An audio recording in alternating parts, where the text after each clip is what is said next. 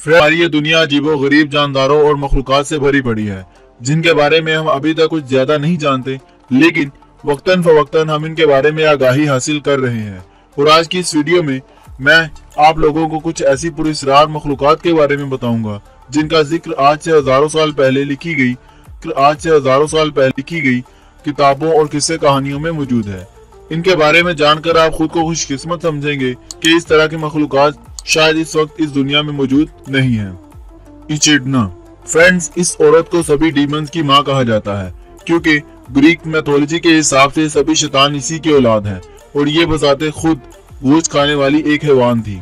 इसका आधा जिसम इंसान और आधा सांप का था इसकी आँखें भी नहाय चमकदार थी। टाइफून फ्रेंड्स टाइफून एक बहुत ही ताकतवर और सभी डीमंस का बाप समझा जाता था। इसके बारे में मशहूर है कि ये, ये इस दुनिया का सबसे खतरनाक डीमन था।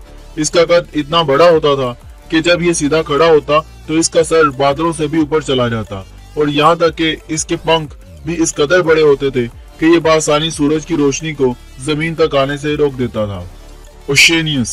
फ्रेंड्स, ग्रीक मैथोलॉजी के हिसाब से ये नहायत ताकतवर टाइटन में से एक था। इसकी हुकूमत पूरे समंदर में फैली हुई थी, लेकिन इसकी हुकूमत का खात्मा तब हुआ जब इसने देवताओं से जंग करने की कोशिश की। देवताओं ने इसे हरा दिया, जिसके बाद पोसाइडन को समंदर का बादशाह बना दिया गया।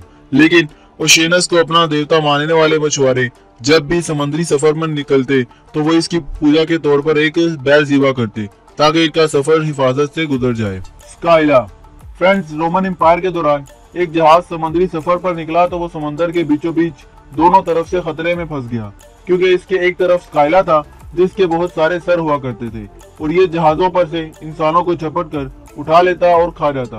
वहीं दूसरी तरफ़ समंदर का दूसरा बड़ा और खतरनाक जानवर, चेरी बडीज था, जो कि समंदर में पानी का बवंडर बनाकर जहाजों को पानी की तय में डुबो देता।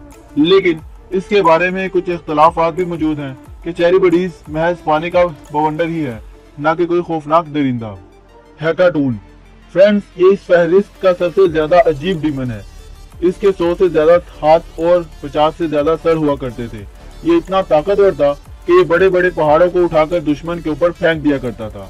इसने टाइटन्स के साथ भी जंग लड़ी और आखिर में ये टाटरस का रखवाला बन गया। फ्रेंड्स आप लोगों के मुताबिक इस तरह के क्रीचर मौजूद थे भी कि नहीं? नीचे कमेंट बॉक्स में लाजमी बताइएगा।